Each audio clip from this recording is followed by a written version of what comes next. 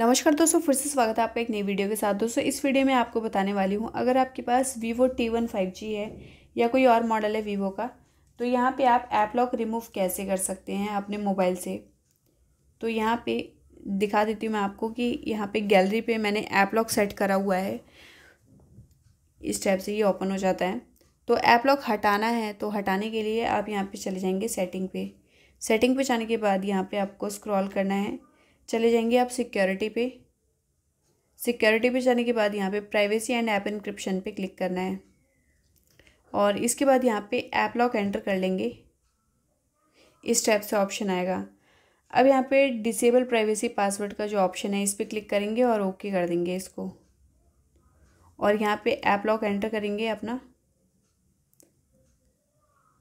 तो app lock आपका remove हो चुका है सक्सेसफुली देख सकते हैं, इस पर क्लिक करने के बाद दोबारा से नए तरीके से आप सेट कर लीजिएगा।